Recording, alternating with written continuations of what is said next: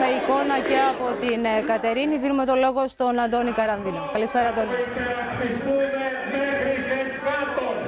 Καλησπέρα, Όλγα από την Κατερίνη.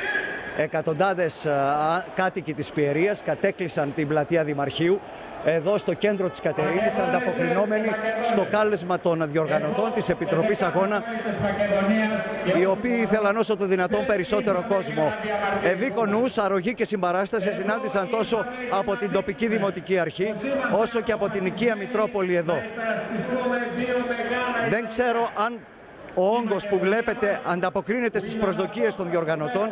Το βέβαιο είναι και μπορώ να σας μεταφέρω με απόλυτη βεβαιότητα ότι υπάρχει και παλμός, υπάρχει και πάθος. Οι παρευρισκόμενοι με ελληνικές σημαίες στα χέρια με λάβαρα της Μακεδονίας, με πανό διατρανώνουν την ελληνικότητα της Μακεδονίας και θα σας μεταφέρω τη δήλωση του Μητροπολίτη, του Σεβασμιότητα του Μητροπολίτη, ο οποίος είπε ότι εμείς δεν παριστάμεθα εδώ για να αντιπολιτευτούμε τους κυβερνώντες απέναντίας τους δίνουμε ένα επιπλέον διαπραγματευτικό χαρτί με τα θέλω του ελληνικού λαού.